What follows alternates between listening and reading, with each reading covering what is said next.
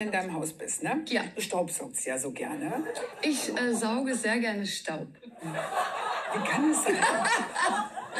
Das ist, kennst du dieses Gefühl, wenn du morgens ins Auto steigst und da sind diese ganzen Regentropfen auf der Scheibe? Ja. Und dann machst du einmal, du drückst auf den Knopf und dann macht der Scheinwischer einmal und dann ist alles. Ja, manchmal sind Gefühl zwei so Streifen drin und dann sage ich, oh Mann, fuck, ey, jetzt Okay, ist das in dem ist Gummi irgendwas das ist kaputt. Das ist zum Beispiel sehr blöd. Ich habe mir auch früher, also das ist noch wirklich schlimmer mit dem Staubsaugen.